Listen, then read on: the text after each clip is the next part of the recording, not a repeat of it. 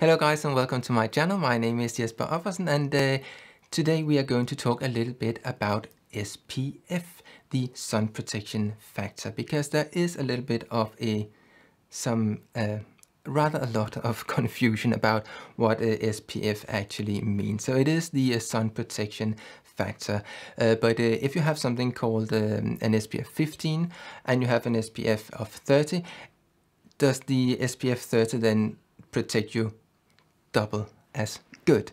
Well, in order to find out that, we need to look into what uh, is actually measured when they are looking at the SPF uh, scale.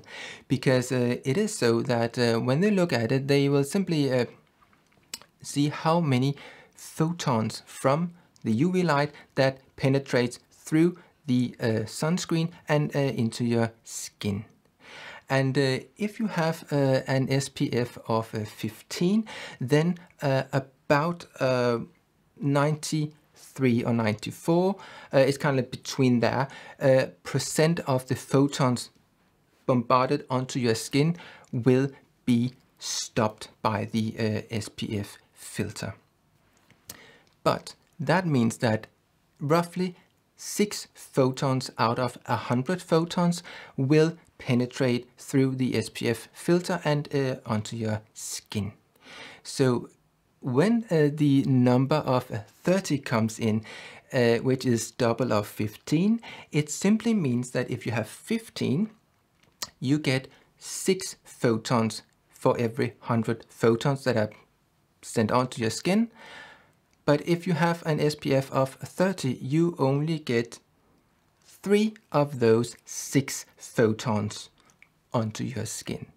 So in that sense, it makes sense to say that you have an SPF 15, which lets in a certain amount of photons, and when you double the SPF number, it lets in half the amount. So that is the way uh, it works. And that is why the difference between uh, SPF 30 and SPF 50 is not that great, particularly because when you look at the scale, you will see, and I will show you in a moment, a little picture of how something, uh, a scale like that looks very simplified, but the scale simply goes very steep up and then it becomes very flat at the top. And for an SPF 15, you very quickly, uh, if as the SPF goes up, so if you kind of like take an SPF of 15, you, uh, you will hit uh, the top um, the roof of the curve very quickly. And if you take an SPF of 30, then you are just a little bit further along at the top. And an SPF of 50 is even further along the top layer. But you very much come up to the top layer of the curve very quickly. And I will just show you now a, a little picture of uh, a curve uh, like uh, that.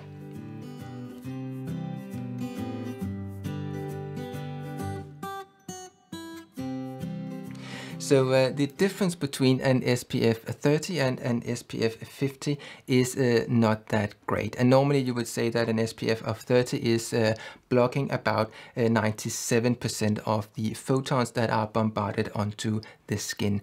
And an SPF of 50 is uh, stopping about 98% of the photons that are bombarded onto your skin. And that means that the difference between an SPF 30 and an SPF 50 is about one uh, point. So why are people then saying that something is uh, protecting you double and not as good and only half and so on. That is because they are focusing on uh, the amount of photons that are actually reaching your skin. So in that sense, if you have six photons that are reaching your skin and you say that is 100%, then uh, something that will allow only half of that amount will uh, give you only three photons, so only 50% of what the other one gave. So in that sense, people are, and I'm, I don't know if I should use the word uh, um, they are manipulating or whatever, but I think it's about um, cherry picking um, data in order to emphasize a point. but you cannot just cherry pick. You need to look at the entire picture and find out what is actually going on. So the difference between an SPF of 30 and 50 is only one uh, point. Now, then people will go in and say, oh, but what about UVA? Because it is so that uh, in the EU, there is a, a mark for UVA, uh, which is the UVA in a circle. And that means that um, if you have uh, an SPF of 30, which is only for the UVB rays, then if you have the UVA mark in a circle, it means that the EU has given uh, the stamp and saying that this gives at least a third of the SPF uh, 30, for example, for the UVA. So if you have a sun cream like uh, a sunscreen, uh, like the one I use from uh, La Roche-Posay, and it looks like this, you might uh, see that down here, there is a little mark, and that is the UVA in a circle. So I know that when the SPF is 30, then as a minimum, the SPF for UVA is, and it does make sense to say SPF because that's the um, more like the burning factor, where the UVA is more for aging and damaging of uh, the skin. But it has to be at least uh, what is equal to uh, an SPF of 10. So a third of the SPF of 30. So then people will go in and say, oh, but if you then take an SPF of 50, then are you having a sun cream, a sunscreen where you are only having uh, a third uh, for the UVA protection, then you are down with actually having a UVA protection of what is equal to an SPF of 16 and a half if it's a third of 50 and comparing that to an SPF of 30 which only have a protection of uh, a third for the UVA then you there would be down to an SPF of only 10 and then people say oh but the difference between SPF 10 and SPF 16 and a half Oh, that, that's quite a lot. I mean, uh, the 16 and a half, it must be at least half as good or 1.5 better. Um, but it's not like that because again we have to go in and look at the uh, SPF scale. And uh, it is so that if you're looking at the uh, SPF um, of 10 then uh, the um, amount of uh, is uh, about 90 percent. So if for the SPF 10. But if you go up to like uh, an SPF 15, which is normally one of those numbers that you see, so it's kind of like a little bit below 16 and a half, then you would be up at uh, 93 into 94. So sometimes you will see a 93 and sometimes people say 94. So kind of like in that range. So what that means is that if you have 16 and a half to be more precise, then you are maybe a little bit above that. So you might say that you would be at the high end of what is normally called the uh, SPF uh, 15 uh, because uh, 16 and a half would be so close that you most likely cannot really measure uh, easily how uh, the difference would be. So just roughly the difference between an SPF of 10 and an SPF of 16 and a half would be like 90% photons you are protected from those. But with the uh, SPF of 16 and a half, you are protected for 94%. Uh, so that means that the difference between SPF 10 and an SPF of 16 and a half is uh, about uh, 4 percent points. So does that make a huge difference as some would let you to, to think or believe? Um, I don't know if that makes a huge difference. But my point is that often when you see videos where these things are uh, explained, your takeaway message is that you should use uh, an SPF 50 because if you only use an SPF of 30, you only get half the uh, protection. But there they are looking at the amount of photons that are hitting your skin. And that is a very small proportion compared to the bigger picture where you are uh, usually protected for about 90% of the photons that are bombarded uh, onto your skin, even if you go as low as a um, SPF of 10. So um, my point here is that I am uh, online with those dermatologists that are saying that you should use uh, an SPF of uh, 30 and you should uh, choose uh, one that has a broad spectrum uh, and uh, you should use uh, so that means that it has uh, the UVA protection as well.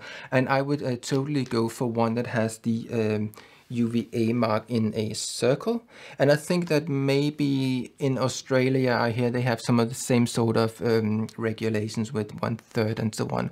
I'm not quite up to date on how it is in Australia, uh, but I know that it is a different uh, in America. And in general, sunscreens are treated differently uh, in America. So they are treated like a, a medical thing and needs to go through uh, various uh, procedures and there are issues uh, with that. That's why there are differences between sunscreens bought in uh, Europe and uh, bought in uh, America. Now, uh, if uh, you have the UVA in a circle, it simply means that it is minimum of a third of the SPF factor for the UVA. So it could actually be that um, if you have an SPF of 30 and you compare it to an SPF of 50 and both of them have this uh, UVA in a circle, then it could actually be so that the SPF 50 only barely has a third of the uh, SPF factor for their UVA protection, but the SPF with the only SPF of uh, 30 might have a, a higher amount uh, of protection for the UVA because it is just a minimum. So it could actually be a much higher UVA protection in uh, an SPF of 30 compared to an SPF of uh, 50. It all depends on how much uh, of these uh, filters that are in the uh, product. So if you want to be sure that um, your UVA protection is up at the level of the SPF, so at the level of SPF uh, 30 or 50, then uh, there is something else you can use. And that uh, I think is only here in, in, in Europe. Uh, it might be if the same products are sold in America or in Australia, they have the same sort of rating. But it's a rating, it's called uh, the star rating. And uh, that was uh, made by Boots in, I think, in the early 80s or 70s or something like that, in order to... Um, check how good the UVA protection was. So if you see, uh, for example, uh, there is a company called uh, and some of those very sunscreens that you always see on sale, even in the supermarkets. Um, and they have, uh, I think in Nivea, they have this star rating on some of their products uh, as well, uh, and Garnier. Uh, but uh, if you have one uh, that has um, the star rating of 5, then you know that the Boots system has checked that sunscreen and the UVA protection is at the level of the SPF factor. So that is one way of uh, making sure that you get a good uh, UVA protection because the point here is that you could actually get a much better UVA protection from an SPF of 30 compared to uh, an SPF of uh, 50. It all depends on how much uh, UVA filters there are in the product. So a minimum of a third doesn't really guarantee you anything else but that it's a minimum of a third. But uh, it could be much better one product compared to uh, another. So uh, for the one I use, uh, that is the, uh, La Roche-Posay, uh, I just go with the fact that it has at least uh, one third of the UVA and then I just cross my fingers that it is way higher. choosing some of those other ones that are having the five star rating may mean that you are coming into a sunscreen which is more not so nice performing on your skin and something I would say I would use this uh, on a daily basis, but if I went to the beach or did something where I knew I would have to stay in the sun for a prolonged period of time, and it wasn't so much about if I was looking good or not, uh, then I would uh, choose the uh, one that had the uh, five star rating. It is not to say that there are not really good five star rated products uh, that will look great on your skin and won't be oily and you know will perform well. Uh, it's just usually when I see those uh, five star ones, it is usually uh, Garnier or it's uh, Nivea or it's uh, this uh, Piz Buin or there is a another product uh, which is um, a product uh, from a company called uh, Riemann, which I have spoken about before as well. But I think that is really I would only use that if I went to the beach because it's really sticky on the skin. So uh, yes, it's. I think it's about uh, finding out what are your needs. Do you need a sunscreen just for daily in and out of the office and just so on? Uh, you might not need a really strong one that um, has the very high UVA. But if you're going to the beach or if you're going to do some garden work or you are spending uh, your lunch hour outside in the sun, um, it might be that you need uh, something a little bit uh, stronger where you know that it is rated with five stars so that you know that the UVA is at the level of the SPF. So uh, yes, uh, hopefully uh, this was something that um, you could learn a little bit from and uh, make give you a better understanding of what the SPF and the UVA factor actually is.